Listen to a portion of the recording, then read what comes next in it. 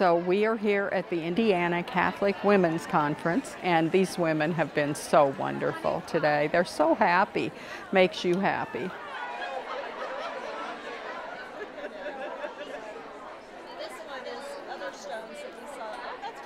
This has been such a wonderful experience. It's so great to see um, our faith um, alive in this community and just the wonderful like participation and just female camaraderie that we have here.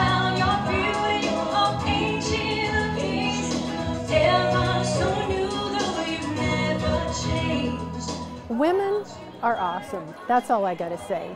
We are God's gift to the world. And St. John Paul II really said that in his Love and Responsibility and Theology of the Body, where he talks about the feminine genius, which really is our gift of receptivity, that we open our hearts and our minds and our arms and our homes to draw other people in. I think the love that we have translates into the care that we can give to others, the nurturing.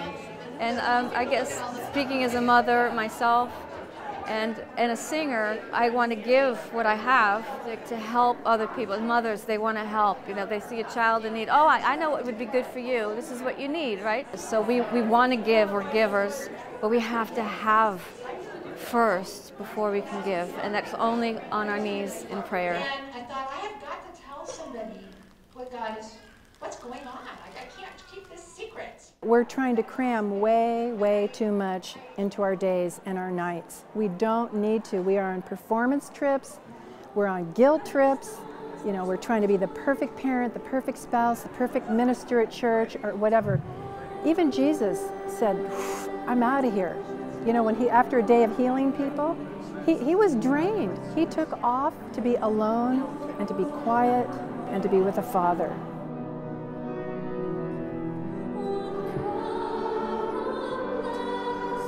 I think one of the things women struggle with is their own personal identity.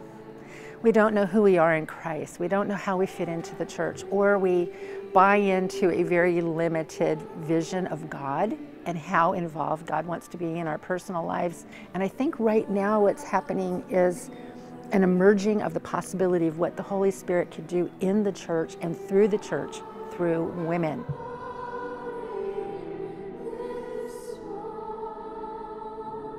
It helps me to get that jump start again because of where I am in my life, and that's kind of what I was hoping for. Um, I would say I would definitely, I would just want to come come back next year. You do leave with something here. I mean, it's it's definitely definitely good, a good feeling today.